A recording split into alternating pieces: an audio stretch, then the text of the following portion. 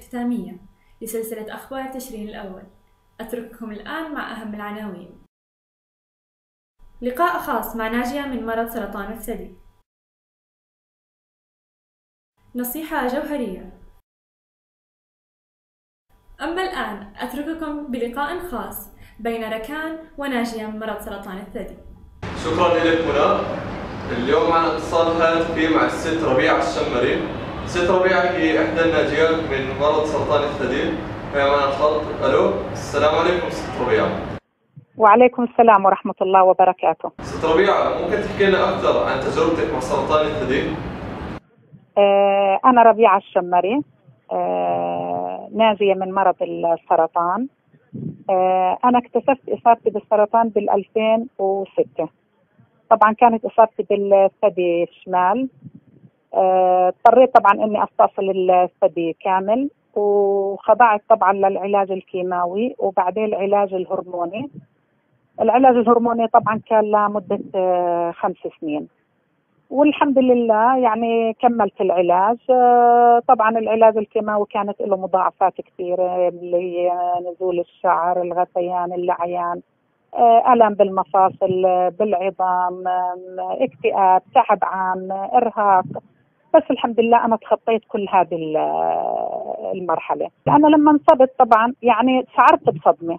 بعد ما شعرت بالصدمة وخلص يعني امتصيت الصدمة بديت أفكر إنه لا أنا لازم أكمل العلاج. لازم أنا آه، أدعم نفسي. لازم أنا آه، أنا اللي أدعم نفسي. أنا اللي يعني أواجه المرض.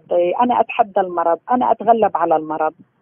فكنت طبعا يعني بديت إني أنا أفكر شو الأمور اللي بتساعدني على إني أخلي دائما مناعتي مرتفعة على إني أنا أواجه هذا المرض وآخذ جرعاتي الكيماوي آه، آه، كلها وأكون يعني أخليها تكون خفيفة شوي علي.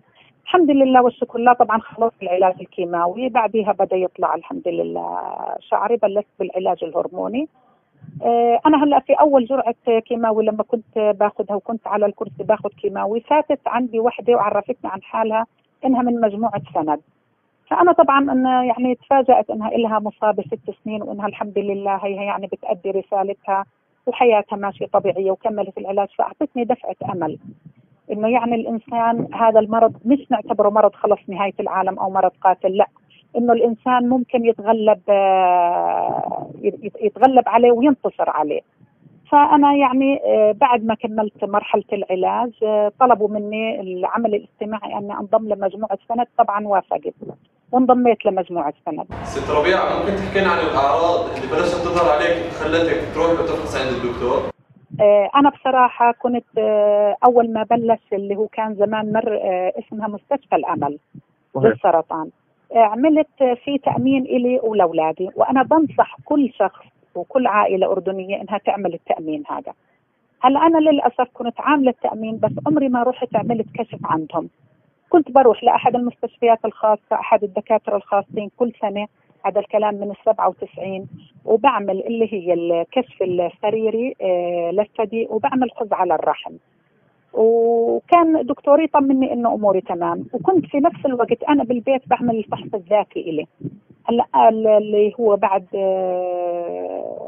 يعني بعد آخر كل دورة إنه الست المفروض تعمل وهي بالحمام تعمل فحص دوري للثدي أنا بال 2000 حسيت إنه في شيء بالثدي الشمال يعني لمسته يعني كثير كثير صغير شيء بس إنه لمسته ما في ألم ولا شيء لمسته. رحت على الدكتور. طبعا حكى لي انسى الموضوع. ابدا آه، ولا هذه عبارة عن غدة دهنية. أنا طبعا سمعت كلامه دكتوري من ال 97 ضليت أنا لل 2006 للأسف بال 2006 كبر الورم. آه صار يعني ضاغط على شكله على الأنسجة على هذا صار في عندي ألم. رحت لنفس الدكتور لما شافني يعني عمل حاله إنه متفاجئ إنه مش عارف. حكيت له دكتور بنفس الاستديو بنفس المكان وانت عمرك ما حكيت لي اعملي ماموجرام. المهم نزلت عملت ماموجرام وعملت ultrasound وبنفس اليوم اكتشفت إني آه، مصابة بالسرطان. للأسف كان حجم الورم 4 سم ونص يعني أنا لو من ال 2000 من لما حكيت له كان الورم صغير كان أنا يعني اختصرت كل هالمرحلة أو اللي مريت فيها اللي هي كان ما استأصلت الثدي كامل. كان ممكن بس يعني كان أنا متأكدة إنه كانت مرحلتي مش مرحلة stage 1 ولا 2 ولا 3 يمكن zero كان آه كان أنا ممكن يعني اضطريت إنه بس أستأصل ال- الكتلة اللي أنا لمستها طب. المهم أنا عملت طبعا في أحد المستشفيات الاستئصال الثدي كامل وبعدين عملت إجراءات اللي هي الإعفاء من الديوان وأخذت علاجي بمركز الحسين آه، للسرطان طب ست ربيع كيف كانت ردة فعل عيلتك والمجتمع من حولك لما عرفوا بإصابتك بمرض السرطان؟ أه والله يعني أنا نفسي ما كنتش مصدقة. يعني هو الإنسان نفسه دائما بيبعد عن حاله إنه هو ممكن ينصاب آه، بالسرطان. فالكل يعني طبعا الكل يعني اتفاجأ آه، انصدم الكل يعني ما كان مصدق. وأكثر شيء بصراحة أولادي. يعني أنا عندي أولاد اثنين كانوا شباب بالجامعة. فهم يعني كانت المعاناة عليهم كبيرة بس بنفس الوقت دعموني. يعني دعموني والكل دعمني. الكل دعمني لأنه الكل كانت هذه من ال 2006 فكرة السرطان إنه خلص الإنسان بده يموت. فكنت أنا بعد ما صابني ال- ال- الصدمة وامتصيتها لا صرت أنا أخفف عنهم. بالعكس أنا لما نزل شعري ما كان عندي أي مشكلة كنت آه، قدام أولادي صاحباتي لما يجوا أهلي أظني بدون الباندانا أو بدون ال- الباروكة عادي عادي وأحكي لهم أنا هذه فترة وبتعدي هذا علاج مش طول العمر. هذا مجرد أربع جرعات بدي آخذهم وبعدين كل أموري راح ترجع آه تمام.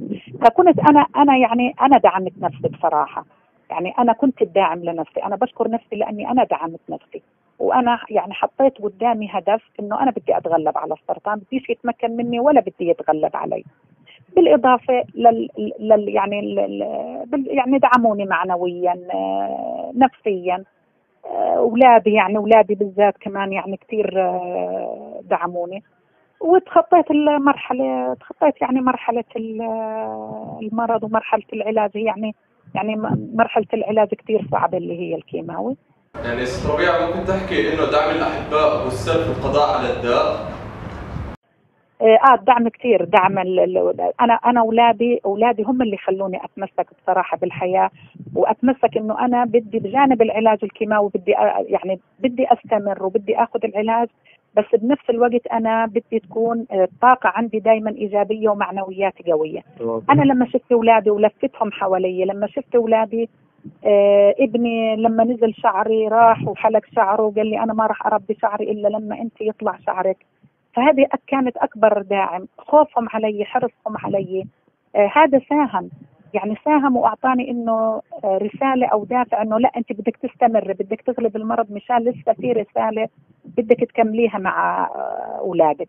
الدعم كثير الدعم والحب وال وال والتكاتف وال وال إله إله كثير يعني بساهم بساهم آه، في الشفاء. طب ست ربيع كيف حسيت إنك أثرت بالمجتمع عبر انضمامك لمجموعة سند؟ آه أنا هلا بدي أحكي لك يعني بدي أحكي لك على هذه النقطة بالذات وكم كان إلها أثر. وأول إشي أثرت فيي أنا وهذا الإشي اللي شجعني إني أنضم لمجموعة سند. أنا في أول جرعة كيماوي آه، إجتني واحدة ومن مجموعة سند. وطبعا حكيت لك إني كيف أنا ارتحت لما شفتها وانبسطت إنه هي واحدة زيي هيها مرت في المرض وتعافت منه. نزل شعرها وطلع وهيها بتمارس حياتها كأم وبتمارس حياتها في أسرتها وفي المجتمع عادي. هلا أنا لما اتصلوا في العمل الاجتماعي بعد ما خلصت الكيماوي وطلبوا مني أن أنضم لمجموعة سند على طول طبعا آه، يعني وافقت. طبعا مجموعة بدها كأن المفروض ست شهور نضلنا ناخذ دورات مكثفة. كانت دورات كثير حلوة وأنا كنت حابة لأنه أنا حبيت حبيت هذا حبيت إني أكون داعمة حبيت إني أدعم المريضات الجداد. وأثر فيهم زي ما أنا كان الدعم له فضل آه، في إنه يعني يعني خلاني آه، عندي أمل إنه أنا بإذن الله راح أطيب. يعني هلا نحن مجموعة آه، سند عبارة عن مجموعة ستات ناجيات من مرض ال- السرطان. كملوا علاجهم طبعا. الهدف من هذا إنه ندعم المريضات الجداد اللي تشخصوا جديد بالمرض واللي عم ببلشوا بالكيماوي. طبعا breast cancer هلا نحن بنشوفهم نحكي لهم عن تجربتنا شو اللي تعرضنا له كيف الكيماوي شو اللي أخذنا شو اللي عملنا. بالإضافة لهذا في نشاطات بنعملها للستات؟ المصابات عبارة عن نشاطات ترفيهية وكلها مجانية. يعني كلها مجانية مثلا بناخذهم رحلة للستات طول النهار. ناخذهم مثلا على غداء بنعمل لهم فطور آه، أيام عيد الأم بنعمل لهم برضه احتفالات. وبرضه بندعم المريضات للذات بنحكي لهم عن تجربتنا شو اللي مر فينا شو اللي مفروض يعملوا شو اللي مفروض يساووا. فهذه يعني بتعطيهم كثير أمل. هذا بالنسبة للمصابات. الغير المصابات مثلا كنا نحن نطلع نحن والدكتورة يسار مركز الحسين. كنا نطلع لمدارس مثلا في الأغوار يكونوا مثلا داعيين في 30 ست أو 40 إنه تعالوا في ندوة مثلا عن سرطان الثدي والكشف المبكر. هلأ يكونوا كلهم خايفين. لما يعرفوا عني إنه أنا مثلا ربيعة السمري سرفايفر نازي من سرطان الثدي بصيروا كلياتهم هيك يتطلعوا إنه والله كم سنه إلك وكيف. بحكي لهم هي أنا الحمد لله انصبت بالمرض وأخذت العلاج وهيني الحمد لله واقفة على رجلي داعم أنا برضه صرت أدعم أسرتي قايمة بأولادي أموري كلها تمام بمارس حياتي بالمجتمع هذه. فبصير عندهم إيش يتشجعوا إنهم يعملوا الكشف المبكر. آه. هذا بالنسبة للي مش مصابات. طب ست ربيعه عندك أي كلمة تحبي توجهيها لجمهورنا؟ بوجه الرسالة مش بس للست بوجه الرسالة للزوج وللأخ وللأب وللابن إنه دائما يحثوا أمهاتهم أو خواتهم أو نسوانهم على الكشف المبكر. الكشف المبكر يعني أنا بركز على الكشف يكسروا حاجز الخوف. ما يحكوا والله لا نحن خايفين بلاش نروح نفتح على حالنا باب بلاش لا. ما تضلي عايشة بالوهم والخوف. اكسري حاجز الخوف ساعة وروحي اعملي صورة هالماموجرام واطمئني على حالك. هلا لو الوحدة كانت مش مصابة الحمد لله هي اطمأنت على حالها ووفرت على حالها القلق والتفكير إنه ممكن أكون مصابة ولا لا. لو كانت مصابة دائما اكتشاف المرض آه، في أوله بكون العلاج كثير سهل ونسب النجاح فيه بالذات للبريست كانسر بتوصل ل 98% يعني نحن في عندنا مجموعة بنات ستات لهم 20 سنة في لهم 17 سنة. ناجيات يعني والحمد لله. والحمد لله. فدائما بنصح الست إن في الكشف المبكر بنصحها تروح آه، تكشف لأنه الست هي الدعامة الرئيسية للأسرة.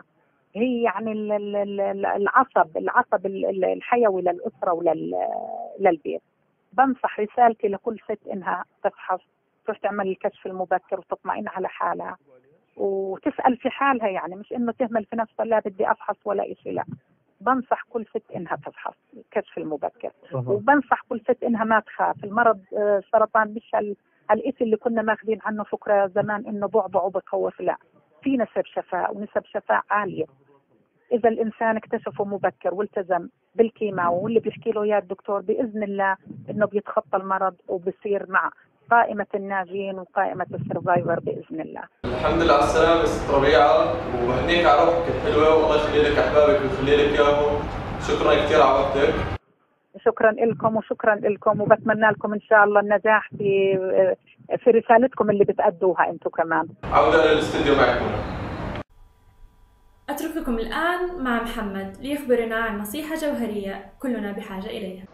إن الدعم النفسي لمرضى السرطان هو علاج تكميلي وجزء لا يتجزأ من العلاج النفسي وحيث, يختلف وحيث أن العلاج النفسي يختلف من شخص إلى آخر بحسب نوع ومرحلة المرض والمحيط الاجتماعي النفسي الذي يحيط بالمريض حيث أننا لا ننسى أن السرطان هو من أكثر الأمراض التي تؤدي إلى الاضطرابات النفسية والمتاعب النفسية خاصة للفتيات الذي يعانين من مرض سرطان الثدي. حيث أن العلاج النفسي يختلف حيث أن مرحلة تساقط الشعر في بداية العلاج الكيميائي هي من أصعب المراحل النفسية للفتيات الذي يعانين من تساقط شعورهن. شكرا لحسن متابعتكم لنا خلال هذا الشهر. أتمنى أن نكون قد وفينا في الوعد حين قلنا سنغطي أخبار الأردن من شمالها إلى جنوبها. طبتم في خير. اعمل share الفيديو على فيسبوك وتويتر واعمل join لل event